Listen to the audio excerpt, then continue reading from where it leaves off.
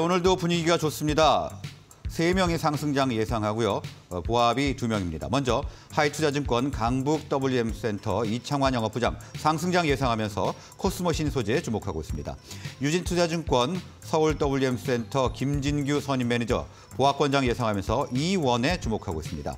다올투자증권의 이성훈 차장 상승장 예상하면서 대한항공을 관심주로 꼽았고요.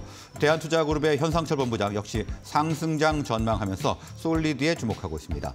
신한투자증권 부산금융센터 이호석 차장 보합권장 예상하면서 빅텍에 관심을 가지고 있습니다.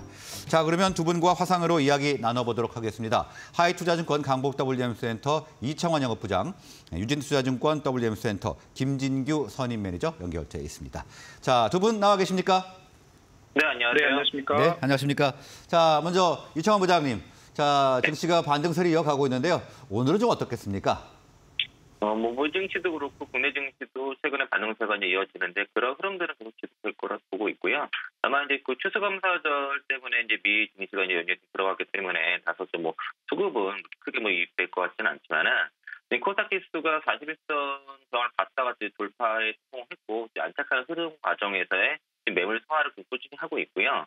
이쪽에서 매물은 아마도 2차진 섹터가 제일 많았던 걸로 보여지고, 지금 지수에 비해서 2차진 섹터가 상대적으로 못 때문에 좀 진행이 될 것으로 생각이 들고 코스피 지수 같은 경우는 240선 안착이 된 상태고요. 그리고 이제 경기 지수라고 볼 수 있는 120선까지 17포인트 남았습니다. 그래서 조금만 더 올라간다 그러면은 이제 그 외국인들 환배팅에 의해서 코스닥보다 코스피의 그 대형주 쪽의 움직임들이 더 좋은 흐름이 나타나고 있는 것 같고 어, 11월 수출 지표가 이제 남은 기간 동안에 이제 잘 마무리가 된다 그러면 충분히 120, 120선 위로 좀 안착할 수 있다고 볼 수 있겠고요. 어, 외국인 환배책에 의해서 특히 삼성전자 쪽에 매수가 집중되고는 있지만은 다른 대형주 쪽으로도 그러니까 낙폭이 가대되었던 대형주 쪽으로도 전반적으로 매수가 들어간 상황이고 11월 달에 외국인 코스피에서만 약 3조 그리고 코스닥에 어제자로 8,166억을 수매했거든요. 그 3월에서만 3조, 3조 6천, 6천억을 다습니다 그래서 외국인들이 지금 한 어, 금리가 떨어지고 달러 약자가 되고 원달러 환율이 어, 하락을 하면 인해서 여기에 대한 매수가 자연스럽게 들어온다고 볼 수 있겠고요. 어, 다만 이제 큰 이벤트가 당분간 좀, 어, 좀 없기 때문에 어, 어떤 급변한 어떤 터닝포인트 당장 없는 상황일 것 같고 그리고 어제자로 이제 에코프로 머트리얼즈가 이제 그, 그 변동성이 어쨌든 당구 좀 나오는 흐름이 나타났기 때문에 수급 코스피 쪽에서 수급 쏠리 현상은 좀 완화될 수 있지 않을까 그러면서 다른 쪽으로도 매기가 확산될 수 있을 것 같고 그리고 외국인들이 수급에 키를 주고 있는 것을 보이기 때문에 꾸준히 외국인들 그런 종목들 주목하시면 좋을 것 같습니다. 네, 최근에 외국인의 매수세가 들어오고 있기 때문에 외국인의 수급이 몰리는 종목들 주목할 필요가 있다 이렇게 분석을 해주셨습니다. 자, 다음은 김진규 매니저님. 자, 오늘 어떻게 준비하면 좋을까요? 어, 일단 증시 거래 대금이 증가세로 추, 어, 되고 있지만 어, 소폭 따른 좀 숨고린 숨고르기 타이밍으로 좀 보고 있습니다. 어, 투자자 예탁금이나 아니면 CMA 자금 역시 어, 70조를 넘기면서 한 달간 최근 가장 많은 수준을 보여주고 있는데 어, 거래대금 역시 일평균 어, 1조 원대가 이제 회복되는 모습을 어, 보여줬고 코스닥, 코스피 모두 이제 증가하는 모습을 보여줬거든요. 어, 그뿐만 아니라 채권 금리도 안정적인 모습을 보여주고 있는 상황이라 어, 그 매크로상 추가 상승 가능성이 있는 것은 사실입니다.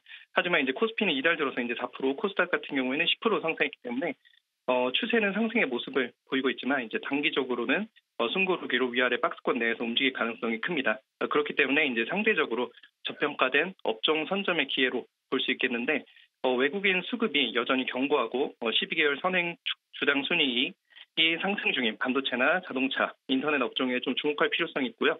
어, 특히 반도체 업종에서 내년 EPS가 상향되고 또 성장성, 이 안정성 모두 가져갈 수 있는 종목의 옥석을 좀 가린다면 내년에는 훌륭한 포트폴리오가 될 가능성이 크다고 보고 있습니다.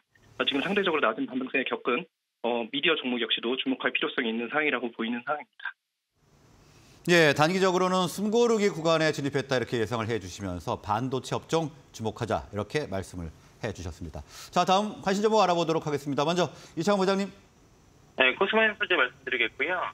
어, 지난 그 11월 6일자 뉴스를 제가 좀 주목을 하고 있는데 거기 어떤 내용이 있었냐면은 원래 코스민 소재가 내년도에 그 연체 캐파가 10만 톤 구축을 목표로 하고 있었거든요. 현재 캐파가 3만 톤인데 어, 고객사 그 요청으로 인해서 어, 그 올해 연말까지 지금 10만 톤 소파를 구축 완료하기로 이렇게 일정이 좀 앞당겨진 걸로 보여지고요. 원래 내년 상반기였습니다. 많이 앞당겨져서 그래서 내년도에만 일단 매출이 양대 쪽에서만 1조 이상 발생할 것으로 보여지고 그리고 그 내년도에 발생했던 매출이 지금 4분기로 당겨져서 지금 들어가기 또 매출이 들어가기 때문에 현재 이제 2024년도 이후에 공급 물량과 품목에 대해서 이미 다 병의에서 협의를 거의 다 마치는 걸로 파악이 되고 공제까지 그 가동이 시작이 되거든요. 그래서 여기에 대한 모멘텀들이 있는데 지금 양재 기업들 4분기 실적 우려가 분명히 있겠지만은 양재 기업들 중에서 전년 동기 대비 그리고 전분기 대비 어, 실적이 역성장하지 않는 유일한 양극재 기업이라는 것에 대해서 좀 포인트를 잡으시면 좋겠으면 좋겠고요.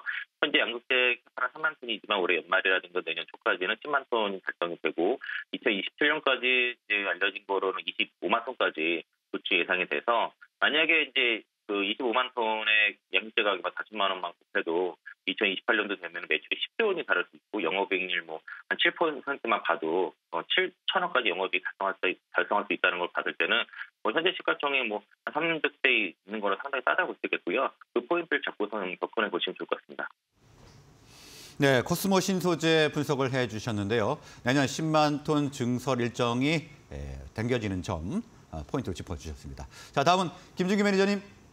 네, 저는 이 원 보고 있습니다. 어, 현재 LPG 업체로서 이제 어, 핵심 이익, 이익 지표인 이제 세전이익 같은 경우에는 이제 전만치를 상회했고요. 어, 3분기 연결 실적을 보시게 되면은 이제 400억 원이 나왔는데 YOY로 26% 증가하면서 어, 증권사 전망치를 어, 많이 초과하는 모습을 보여주고 있습니다.